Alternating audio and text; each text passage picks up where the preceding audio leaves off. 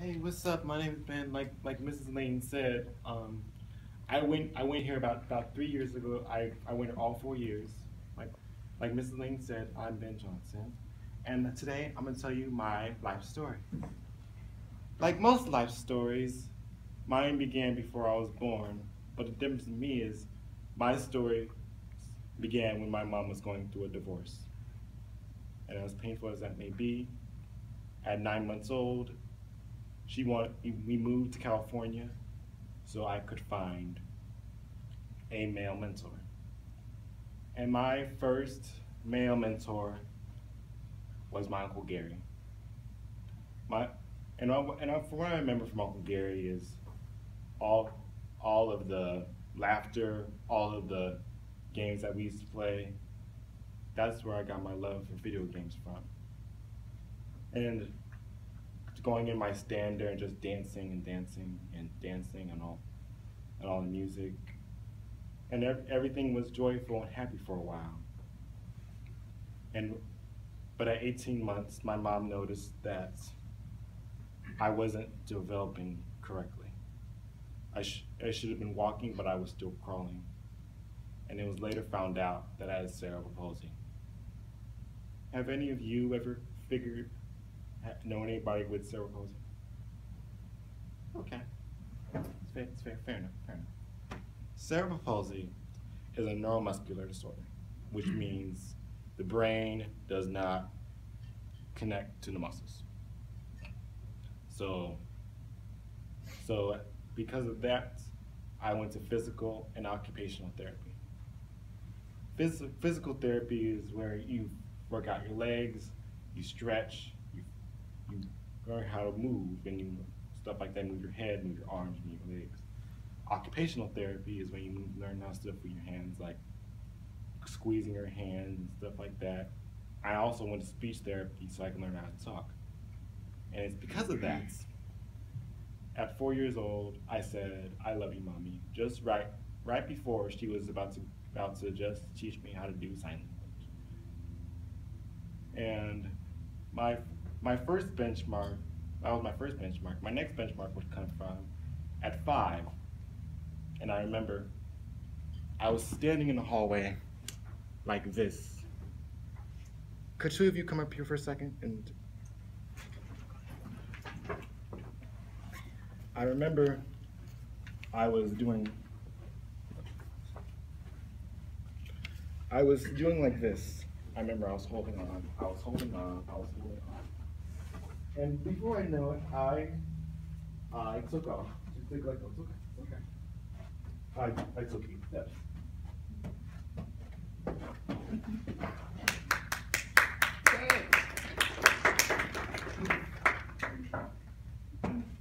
And I, I remember my mom cried, take my hand. Um, I remember my mom cried and I cried and she called everyone in my family. When I, it's okay, y'all, y'all can sit down. Thank you so much, y'all are awesome. Um, when I was when I was six years old, I also would go to therapy for my for my balance. I would ride horses at a place called Project Ride.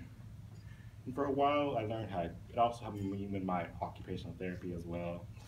I would do. I would clean. I would clean horses with brushes, which helped me with my hand motions and stuff like that. I would throw ring. I would throw balls into rings, as well play with the horses. And uh, the next benchmark would come from when I was when I was nine, and it was a thing. it was Thanksgiving 2006. I remember we went to Ohio, and it, and as as any of y'all been to Midwestern know, yes, they have. Have any of y'all been into a, a smelly Midwestern basement. Yes, you said that. Yeah. and, but I wanted to get down there because that was where the um, flat screen TV was. And at the time, there was a Star Wars marathon, so I wanted to get downstairs every every day, so I every night, so I can watch the Star Wars marathon with my mom. And I would sit there and I would and I would just cry, cry, and cry and my auntie begged my mom, let let me um let me let me carry him downstairs. And She'd be like, nope, because she always she wanted me to always learn because someone might not always be there when when you need when you need them. So after some after some after a while, I just learned how to scoot scoot like this, scoot like that. I would scoot downstairs, and I and I and I did it, and I was like, wow, that was awesome. And then I met possibly the greatest mentor in my life, and that was my stepfather. My stepfather when I was 10. My, his name was Demar, Damaris Miles. And I and I and him and I connected very quick quickly. And the funny thing is, um, every every day, we my mom would cook breakfast, and this healthy breakfast, and we were like, we're gonna go on the road and get it on the road. My mom thought we were getting something healthy on the road. Turns out we were just going to McDonald's every day and going and going to McGriddles. It was like, and I was like, but no, I loved it so much because it was our bonding. We bonded. We bonded together. We bonded because it made me because I never had because I never had a father up to that point. He, he's he's gone now. He died when I was 17. But moving on. Um, he also he also taught me that um, he also taught me how to get in the truck because up to that point, him and my mom had to lift me, had to lift me into a truck. Imagine carrying a big nine-year-old into a truck. Imagine. Um, and I remember just I was I was in a garage I was in a grocery store, and I was we were just walking me and me and my uh, me and my stepdad we were walking into a, a grocery store, and he saw me take my walker and I would literally picked up myself and sat on the walker. I'm like, you're that's I'm like, boy, you that strong? Mm, I'm like, yeah, because he, but from that moment on, he made it his mission because he figured if I was that strong to lift my arms, take my arms, and pick myself on to that walker, I could get in that truck. So he made it his mission. Even though every time he picked me up from school, the teacher aides would cry and they would beg him, like, let me help him with the truck. He'd Be like, nope.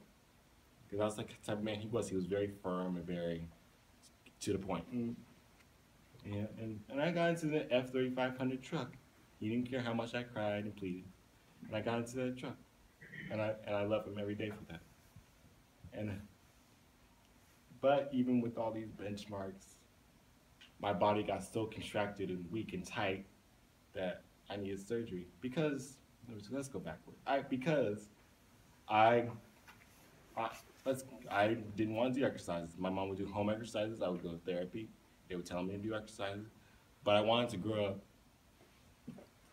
I wanted to grow up to be like all of you, like all of you.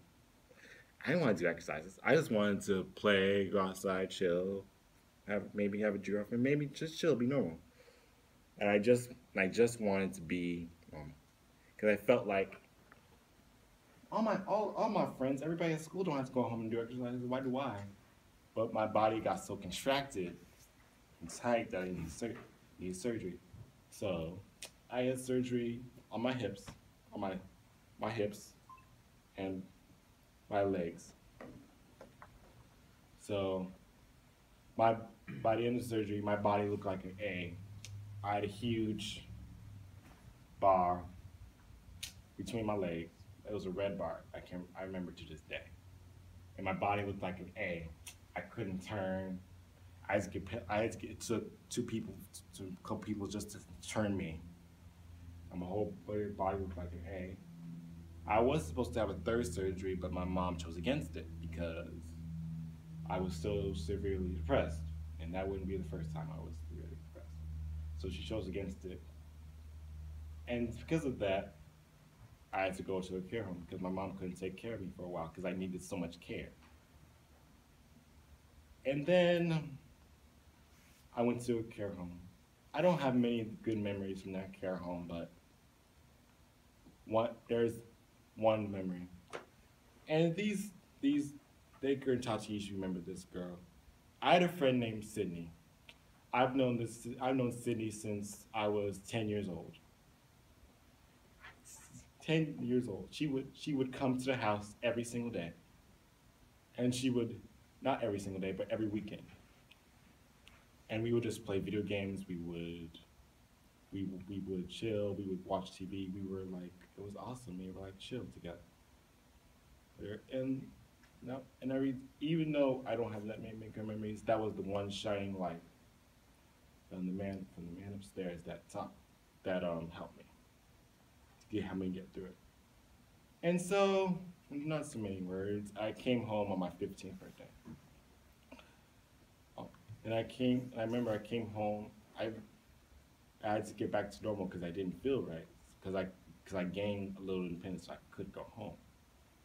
So, but and within a, within about a year, I got my first volunteer job, I, which I got my 40 hours from. I worked at the Boys and Girls Club. And I remember our duties would, would make sure like, make sure the kids are in line, get, get the kids snacks, just hang out with kids, help them with their work, make sure they don't kill each other. Um, mm, uh, like that was, that was our job. And I remember the most we, I remember the sweetest thing they did for me. It was my 16th birthday. And I remember it was a huge surprise. I remember, and I was just, we were chilling out in the break room and everyone was just like, oh, oh Ben, we gotta go in the gym, gotta get to the kids. And I remember they made this huge like lunch for me, they made this cake for me. Cause I wasn't expect expecting anything for my 16th birthday. I just thought this was that was so like the sweetest thing, one of the sweetest things ever everyone has ever done for me. And and then then about a couple months later, it was homecoming time. So I remember because I'd never been to a dance before. So I remember I'm getting getting all fixed up getting all fixed up, getting my hair, getting my, getting my, um, I to Burlington, I remember I got this cool leather jacket, black leather jacket, which I still have to this day. And it was, I remember I got this blue undershirt. I remember I walked into the um, media room and I just remember seeing everybody I, I knew and I just felt so, so, so like, I felt touched. I felt like everything else didn't matter. I felt like I felt like I was just me in that moment. And I slow danced the first for the first time too. Yeah, fun fact. Um, so then, then there's next thing. I found I found love. Yeah, that's funny. Um, I, I, won't say I, I like this girl a lot. So I remember we would hang, me we would hang out every every day, every single day. And I remember this is this is this is so awesome. She understands me. She understands where I'm coming from. It didn't matter that I had cerebral palsy, she understood that. And I just felt like we we connected. And I remember going up to um, Apple Hill and like going to like a flea market. It was like a flea market. I remember finding this little trinket it was called World, World's Greatest Teacher because I remember she wanted to be a special ed teacher. And I remember taking an Apple tour and just feeling like, like this is my moment, this is my moment. It's like a magic moment. I know it sounds corny as heck, but it, does, but, but I felt in that moment. I could, I could do anything, right? So I took the Apple tour, and then just say, I just, I just knew she didn't feel the same. Let's just leave it at that. Um, and I remember going home, I'm like, I cried for a little while. I cried. I remember, I just remember thinking, mine will come someday. We all been through heartbreak. You know, then, well, most of you will go through that in life. So, so my next benchmark was, it was time for senior project. Um, do y'all still do that, senior project? Um, we do something different. Okay. So it was, it was basically senior project time.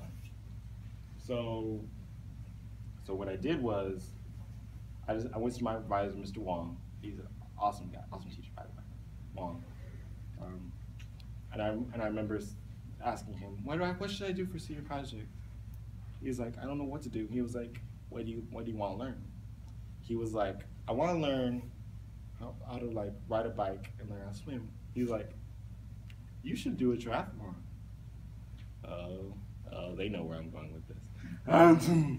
So I just, I remember I did, I did the proposal, I did all the paperwork, and I remember my mom was all for it. We got two personal trainers, one to teach me how to swim, one to teach me how to do exercises and do everything else.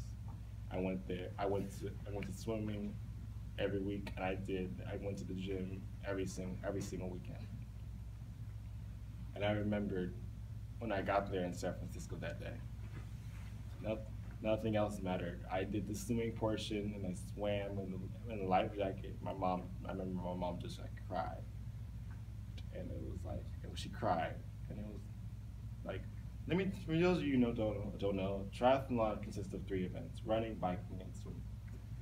So you swim for about 10 minutes, you run for about 15, and you, and you bike for about 30.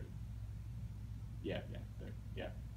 So, so we get to the, and I get to the running portion. I get to the uh, my favorite portion was the uh, the running portion, and I remember even even ba- even Baker was there, and I remember everyone in my family was like cheering me on. Even even complete strangers, I remember feeling like like dang, like they're just cheering me on. Little me, I'm just I'm just I'm just Ben Johnson at the end of the day. But I feel like I I really, but I felt like I felt special. I felt like wow, just, this is like great one of the greatest moments of my life. I remember this kid, I just kept doing it, I just kept doing it. And by the time I felt, when I completed it, I felt like, yes, this is my moment. This is this this is so awesome. Everything everything was coming together. Everything was coming together. And the last benchmark was graduation. So we went to JF, we went to um, JFK and we graduated there. And that day we were deciding like how should I get on stage? Should I use my wheelchair? Should I use, should I just walk on stage? I just wanted to walk on stage like everyone. And I would have given a speech too, but I had to decide: do I do a speech or do I complete my reading blogs?